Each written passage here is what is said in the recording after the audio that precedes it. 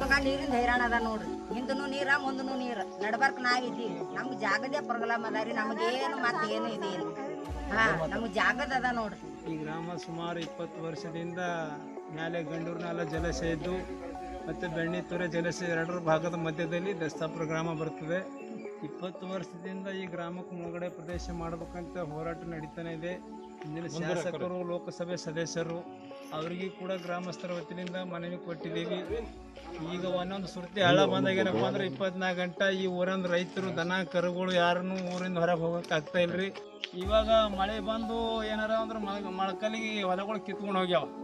ಏನಪ್ಪ ಪಕ್ಕದಲ್ಲಿ ಮಾಗೋ ಗ್ರಾಮದ ದೊಡ್ಡ ದೊಡ್ಡ ಲೀಡರ್ ಆದಂಥವ್ರು ಅಂಥ ಊರಿಗೆಲ್ಲ ವ್ಯವಸ್ಥೆ ಮಾಡಿಕೊಟ್ರೆ ನಮ್ಮಂಥವ್ರಿಗೆ ಊರಿಗೆ ಯಾರಿಗೂ ಒಟ್ಟು ಕೇರ್ ಇಲ್ದಂಗೆ ಆಗ್ಯದ. ಗಂಡೂರು ನಾಲ ಜಲಾಶಯ ತೆಳಗ ಮೊದಲ ಭಾಗ ಬರ್ತಕ್ಕಂಥ ದಸ್ತಾಪುರ ಗ್ರಾಮ. ಈ ದಸ್ತಾಪುರ ಪ್ರೋಗ್ರಾಮ್ ಯಾವುದೇ ಲೀಡರ್ಗಳು ಒಟ್ಟು ಕೇರ್ ಮಾಡ್ತಾ ಇಲ್ಲ. ಈ ದಸ್ತಾ ಗ್ರಾಮಕ್ಕೆ ಬರೀ ಮಾಗೋ ಹೇಳ್ತಾರೆ, ಆ ಕಡೆ ತಳಗಿನ ಊರುಗಳು ಹೇಳ್ತಾರೆ. ಫಸ್ಟ್ವಾಗಿ ಗಂಡೂರು ನಾಲ ಜಲಾಶಯದಾಗ ಬರ್ತಕ್ಕಂಥ ದಸ್ತಾಪುರ ಪ್ರೋಗ್ರಾಮ್ ಇದಕ್ಕೇನಪ್ಪ ಅಂದ್ರೆ ಜಿಲ್ಲಾ ಅಧಿಕಾರಿಗಳು ತಹಶೀಲ್ದಾರ್ ಆಗಲಿ, ಜಿಲ್ಲಾ ಉಸ್ತುವಾರಿ ಮಂತ್ರಿ ಆಗಲಿ, ಗ್ರಾಮೀಣ ಶಾಸಕರಾಗಲಿ, ಎಲ್ಲರೂ ಕೂಡ ಏನಪ್ಪ ಅಂದ್ರೆ ಮುಳುಗಡೆ ಪ್ರದೇಶ ಘೋಷಣೆ ಮಾಡಬೇಕು. ಮಾಡಿಲ್ಲಪ್ಪ ಅಂತಂದ್ರೆ ಇದು ಜಿಲ್ಲಾ ಒಂದು ಇದರಲ್ಲಿ ಜೆ ಡಿ ಎಸ್ ವತಿಯಿಂದ ಹೋರಾಟನೂ ಆಗ್ಯಾವಿಂದ ಈಗ ಮುಂದೂ ಆಗಿರ್ತಾವ, ಉಗ್ರ ಹೋರಾಟ ಆಗಿರ್ತಾವ.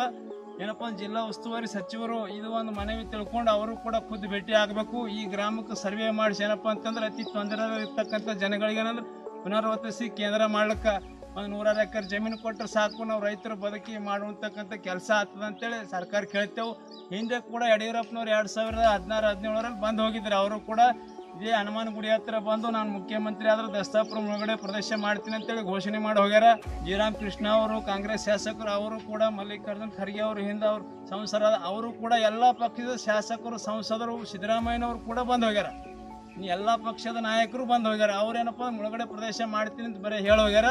ಅದಕ್ಕೆ ಈಗ ಎಲ್ಲ ಒಂದು ನಾಯಕರಿಗೆ ನಾವು ಕೈ ಮುಗಿದು ಇಷ್ಟೇ ಕೇಳ್ತೇವೆ. ಗ್ರಾಮಸ್ಥರ ಪರವಾಗಿ ಇದು ಮುಳುಗಡೆ ಪ್ರದೇಶ ಘೋಷಣೆ ಮಾಡಬೇಕು ತಕ್ಷಣ. ಇದ್ದಿಲ್ಲಪ್ಪ ಅಂದ್ರೆ ನಾವು ಅಪಾಯ ಮಟ್ಟದಲ್ಲಿ ಇದ್ದೇವೆ ಈಗ ನಿನ್ನಿನ ಪತ್ರಿಕೆಯಲ್ಲಿ ನೀವೇ ಕೊಟ್ಟಿರಿ ಗಂಡೂರ್ನೆಲ್ಲ ಜಲಸ ತುಂಬ ನಿಂತದ ಅಂತ ಹೇಳಿರಿ. ಈಗ ನಾವು ಯಾಕಡೆ ಹೋಗ್ಬೇಕು? ಮುಂದೆ ಹಳ್ಳ ಇರ್ತದ ಹಿಂದೆ ತುಂಬ ನಿಂತದ. ಅದಕ್ಕೆ ಸರ್ಕಾರ ಏನಪ್ಪ ಅಂದ್ರೆ ನಮ್ಗೆ ಓಟ್ ಹಾಕ್ಲಿಕ್ಕಷ್ಟೇ ಎಲ್ಲ ರಾಜಕಾರಣಿಗಳು ಬೇಕಂದಂಗೆ ಆಗ್ಯದ. ಅದ್ರ ಹೊಲ್ದು ಮತ್ತೆ ಯಾರು ಕೇರ್ ಮಾಡ್ತಾ ಇಲ್ಲ.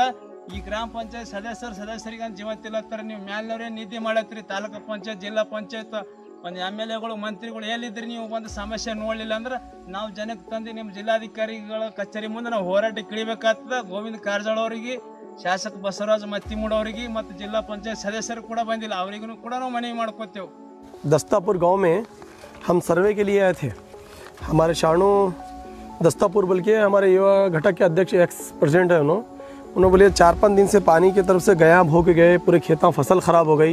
यहाँ पर जो देखने के बाद मालूम पड़ते हैं कि भाई ये लोग बहुत सालों से, दस पंद्रह सालों से ऑलरेडी पूरा यहाँ के M L ex M L present MLA और इंचार्ज मिनिस्टर पहले के एमपी साहब को और अब के प्रेजेंट एमपी साहब को इन्होंने रिक्वेस्ट लेटर ऑलरेडी दे चुके हैं। और देने के बावजूद भी आज तक कोई यहाँ पर आए नहीं और यहाँ पर देखे नहीं। मैं यहाँ पर हमारे एमएलए साहब, जो बीजेपी के एमएलए हैं मत्यमूड साहब को मैं रिक्वेस्ट करता हूँ कि आप आइए, आके यहाँ के गाँव की जो परेशानी है, यहाँ पर देखिए।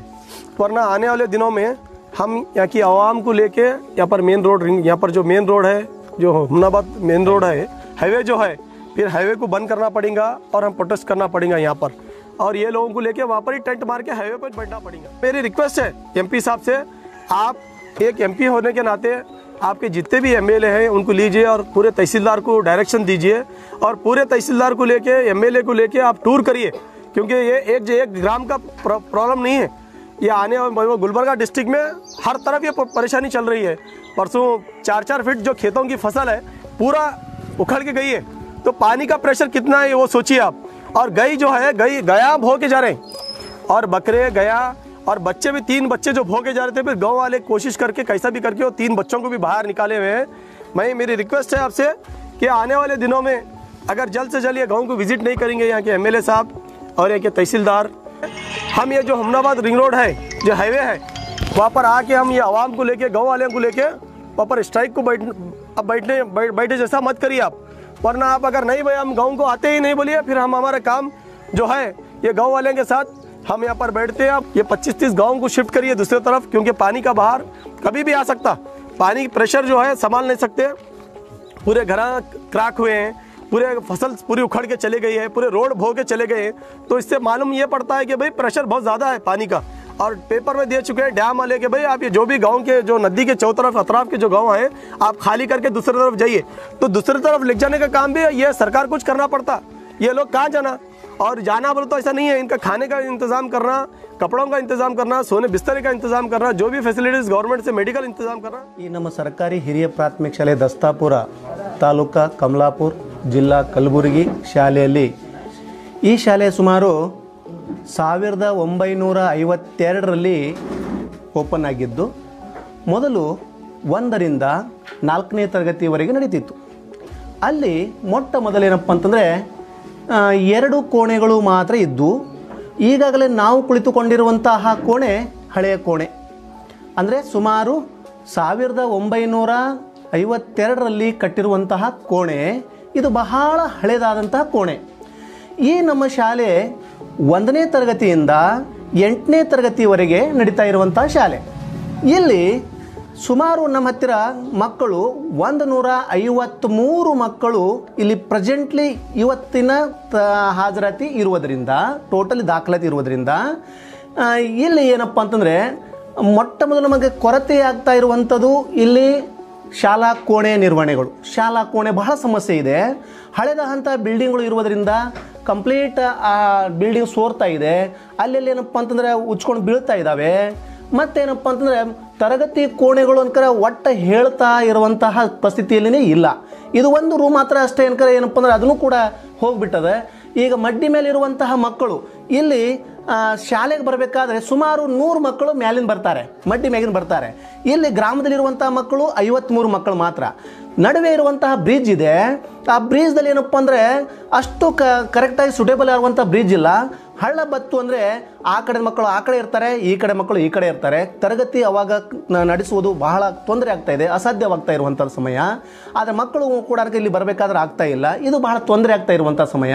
ಅದಕ್ಕಾಗಿ ನಾನು ಈ ಮೀಡಿಯಾದವರಿಗೆ ಮತ್ತೊಂದ್ಕರ ಬಂದಂತಹ ಅತಿಥಿ ಅತಿಥಿ ಮಹೋದಯರಿಗೂ ಕೂಡ ನಾನು ಒಂದ್ಕರ ವಿನಂತಿ ಮಾಡಿ ಕೇಳ್ಕೊಳ್ತಾ ಇರ್ಬೋದೇನೆಂದರೆ ಮೇಲೇನಪ್ಪ ಅಂದರೆ ನಾವು ತಾವು ತಮ್ಮ ಕೈಲಾದಷ್ಟು ಅನ್ಕರ ಮೇಲೆ ತಿಳಿಸಿ ಮತ್ತು ಈ ಶಾಲೆಯನ್ನು ನಮಗೆ ಸುವ್ಯವಸ್ಥಿತವಾದಂತಹ ಶಾಲೆ ಆ, ಆವರಣದಲ್ಲಿ ಏನಕರೆ ಮಡ್ಡಿ ಮೇಲೆ ಏನಪ್ಪ ಅಂದ್ರೆ ಇರುವಂತಹ ಜಾಗದಲ್ಲಿ ಏನಪ್ಪ ಅಂದ್ರೆ ನಮಗೆ ಕಟ್ಕೊಟ್ಟಿದೆ. ಆದರೆ ನಾವು ಅನ್ಕರ ಒಂದು ವ್ಯವಸ್ಥಿತವಾದಂತಹ ಶಾಲೆಯನ್ನಾಗಿ ಮಾಡಬಹುದು ಎನ್ನುವಂತಹ ನನ್ನ ವಿನಮ್ರ ವಿನಂತಿ.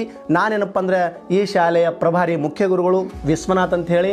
ಮತ್ತು ಈಗಾಗಲೇ ಏನಪ್ಪ ಅಂದರೆ ಸುಮಾರು ಐದರಿಂದ ಆರು ಪ್ರತಿಗಳು ವಿನ ಮನವಿಗಳು ನಾನೇನಪ್ಪ ಅಂದರೆ ಸಂಬಂಧಪಟ್ಟಂಥ ಇಲಾಖೆಗಳಿಗೆ ಕೊಟ್ಟಿವಿ. ಯಾವುದಂತಂದರೆ ಬಿ ಕೆ ಡಿ ಬಿ ಅದರ ಕೊಟ್ಟಿವಿ ಮತ್ತು ಡಿ ಡಿ ಪಿ ಕೊಟ್ಟಿವಿ ಮತ್ತು ಟಿ ಪಿ ಕೊಟ್ಟಿವಿ ಜಡ್ ಪಿ ಕೊಟ್ಟಿವಿ. ಆದರೂ ಯಾರೂ ಕೂಡ ಅನ್ಕರ ಸ್ಪಂದಿಸ್ತಾ ಇಲ್ಲ. ಸಂಬಂಧಪಟ್ಟಂತಹ ಈ ಕ್ಷೇತ್ರದ ಶಾಸಕರಿಗೂ ಕೂಡ ಅನ್ಕರ ಒಂದು ಮನವಿಯನ್ನು ಕೊಡ್ತಾ ಇದ್ದೀನಿ, ಹೇಳ್ತಾ ಇದ್ದೀನಿ. ವಿನಮ್ರ ವಿನಂತಿ ಮಾಡ್ತಾ ಇದ್ದೀನಿ.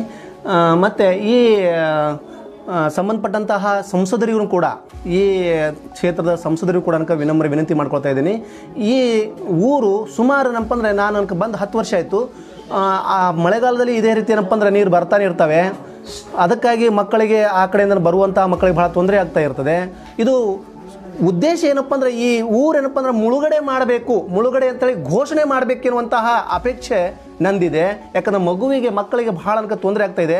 ಮೊನ್ನೆ ಎರಡು ಸಾವಿರ ಇದು ಹದಿನೇಳನೇ ಹೈದರಾಬಾದ್, ಕರ್ನಾಟಕ ವಿಮೋಚನಾ ದಿನಾಚರಣೆ ದಿವಸ ನಾನೇ ಖುದ್ದಾಗಿ ಏನಪ್ಪ ಅಂದರೆ ಮೊಳಕಾಲು ಮಟ್ಟ ನೀರಾಗ ಏನಪ್ಪ ನಾನು ದಾಟ್ ಬಂದು ಏನಕ್ಕ ಫ್ಲ್ಯಾಗ್ ಆಸ್ಟಿಂಗ್ ಮಾಡೀನಿ. ನನ್ನ ಜೊತೆಲಿ ಮಕ್ಕಳು ಬಂದರು. ಕೆಲವು ಮಕ್ಕಳು ಏನಪ್ಪ ಅಂತಂದರೆ, ಆಮೇಲೆ ಬಂದು ಬರುವಂಥ ಮಕ್ಕಳಲ್ಲಿ ಏನಪ್ಪ ಸಡನ್ ಏನಕರ ನೀರಿನ ವೇಗ, ರಭಸವನ್ನು ಹೆಚ್ಚಾಗಿ ಆ ಮಕ್ಕಳು ಹೋಗುವಂಥ ಚಾನ್ಸಸ್ ಇತ್ತು. ಬೇರೆಯವ್ರ ಏನಕ್ಕ ಸಡನ್ ಅವ್ರಿಗೆ ಏನಪ್ಪ ಅಂದರೆ, ಹಿಡಿದು ಜಗ್ ಬಿಟ್ಟರು ಅದಕ್ಕೆ ಮತ್ತು ದನಕರುಗಳು ಹೋಗಬೇಕಾದ್ರೂ ಕೂಡ ಏನಪ್ಪ ಅಂದರೆ ಬಹಳ ದನಕರುಗಳು ಕೂಡ ಹರ್ಕೊಂಡು ಹೋಗ್ತಾ ಇದ್ದಾವೆ. ಇಲ್ಲಿ ಇರುವಂತಹ ವ್ಯವಸ್ಥೆ ನೋಡಬೇಕಾದ್ರೆ ಬಹಳ ಅಧೋಗತಿಯಲ್ಲಿರುವಂಥ ವ್ಯವಸ್ಥೆ. ಇಲ್ಲಿ ಈ ಊರನ್ನು ಏನಪ್ಪ ಅಂದ್ರೆ ಮುಳುಗಡೆಯನ್ನಾಗಿ ಮಾಡಿ ಬೇರೆ ಏನಕರ ಒಂದು ಪುನರ್ ನಿರ್ಮಾಣ ಮಾಡಿ ಕೊಡಬೇಕಾಗಿ ನಾನು ಸಂಬಂಧಪಟ್ಟಂತಹ ಶಾಸಕರಿಗೂ ಕೂಡ ಮತ್ತು ಸಂಸದರಿಗೂ ಕೂಡ ಹಾಗೇನಪ್ಪ ಅಂದರೆ ಸಂಬಂಧಪಟ್ಟಂತಹ ನಮ್ಮ ಆಯುಕ್ತರಿಗೂ ಕೂಡ ಕಮಿಷನರಿಗೂ ಕೂಡ ನಾನು ವಿನಮ್ರವಾಗಿ ವಿನಂತಿ ಮಾಡಿಕೊಳ್ಳೋದು ಕೊಳ್ತಾ ಇದ್ದೀನಿ. ಈ ಏನಪ್ಪ ಅಂದರೆ ಶಾಲೆ ಮತ್ತು ಊರು ಮುಳುಗಡೆ ಅಂತೇಳಿ ಘೋಷಣೆ ಮಾಡಿ ನಮ್ಮ ಶಾಲೆ ಅನ್ಕರ ವ್ಯವಸ್ಥಿತವಾದ ಜಾಗಕ್ಕೆ ಏನಪ್ಪ ಅಂದರೆ ಸ್ಥಳಾಂತರ ಮಾಡಿ ಕೊಡಬೇಕಾಗಿ ತಮ್ಮಲ್ಲಿ ವಿನಂತಿ ಮಾಡಿಕೊಳ್ತೇನೆ